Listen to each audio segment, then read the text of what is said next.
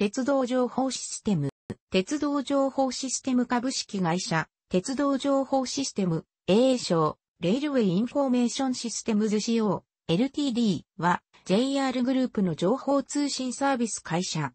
1987年4月1日にマルスをはじめとする JR グループ各社のコンピュータシステムの運用、管理業務を日本国有鉄道、国鉄から承継した。本社は東京都渋谷区 JR 東日本本社ビル内。通称は JR システム、JR システムズ。コーポレートカラーはエンジ色。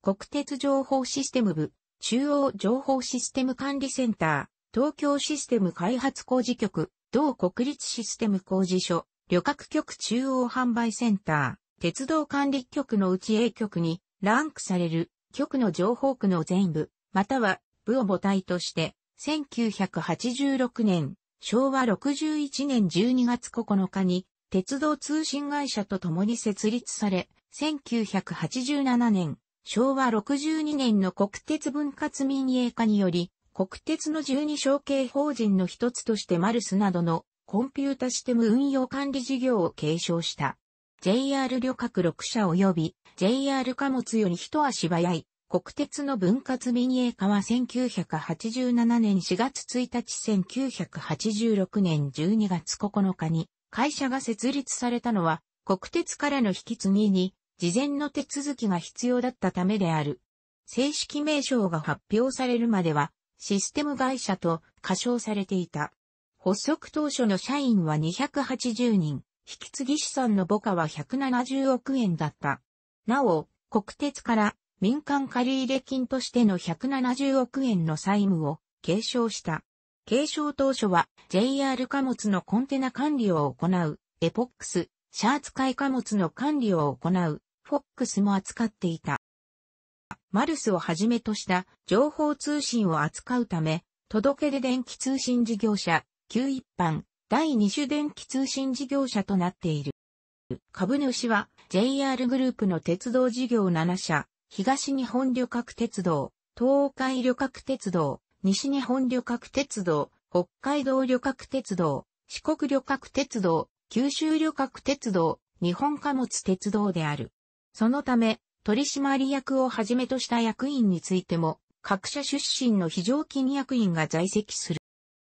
東京都渋谷区の本社をはじめ、札幌市、仙台市、東京都千代田区、名古屋市、大阪市、高松市、福岡市に支社、営業所を設けているが、国分寺市にある国立事業所、国立システムセンターの規模最も大きく、社員の過半数もそこに在籍する。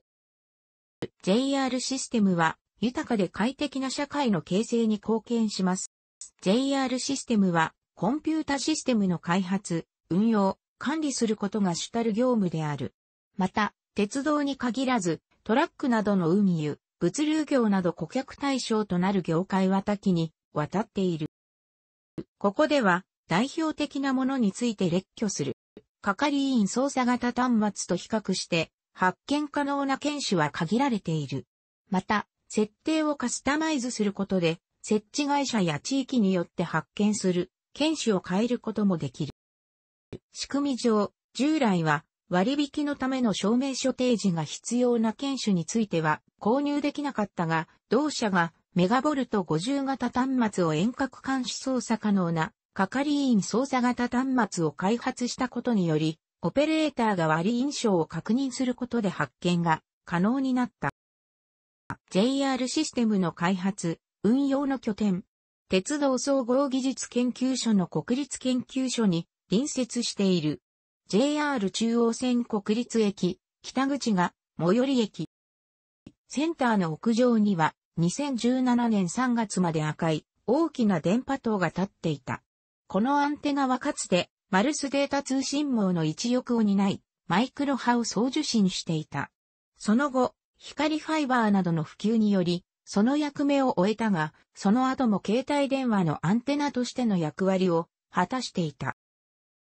センター内部にはかつて、マルスのホストコンピュータが置かれ、全国の JR グループの指定座席の情報が一元化されていたが、現在は大規模災害対策の一環として別の場所にあるデータセンターに移されており、その監視業務を行うにとどまっている。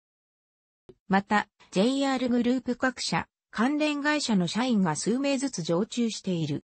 1998年、平成10年6月に業務拡大に伴って2号館が増設された。サイバーステーション。サイバーステーションとは JR システムが運営するインターネットサービスプロバイダ事業である。前身はパソコン通信の PCSTN。